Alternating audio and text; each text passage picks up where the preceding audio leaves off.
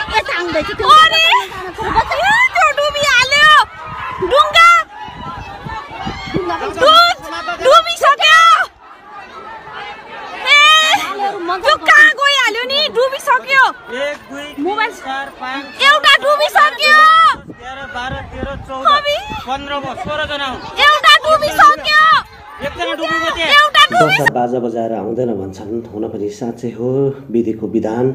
होली खेलेर गर्मी भएर सबै साथीहरूसँग लहै लहैमा लागेर कर्णालीको पुलबाट हाम फालेर नुहाउने प्लान बनाएर गएका लोकेन्द्र साई अब सदाका लागि अस्ताए यसरी हाम फालेका थिए सोह्रौँ नम्बरमा हाम फालेका थिए सबैले बचाओ बचाओ डुब्यो भन्दा भन्दै पनि ज्यान गुमाउन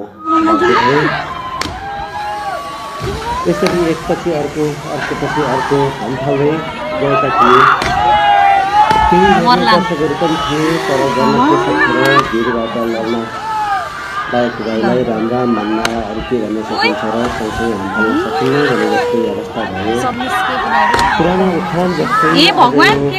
होलीको समयमा कर्णाली चिसापानीको। पुलबाट सत्रजना गर्नको लागि तर सोह्रौँ नम्बरमा हाम?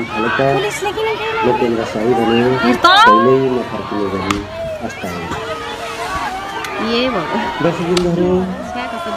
भनिन्छ पुरानो उखान?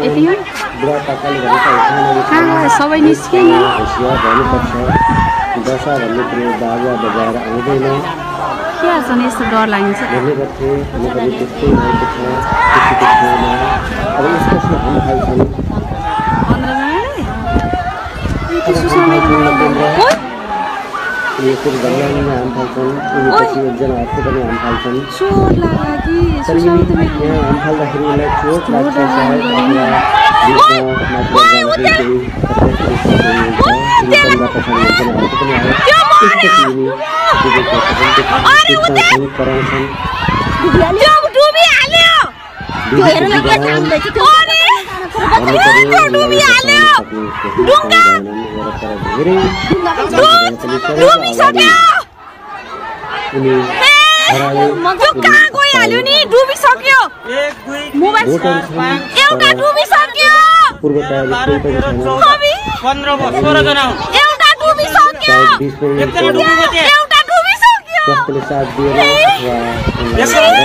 के गर्छन् कि यस्तो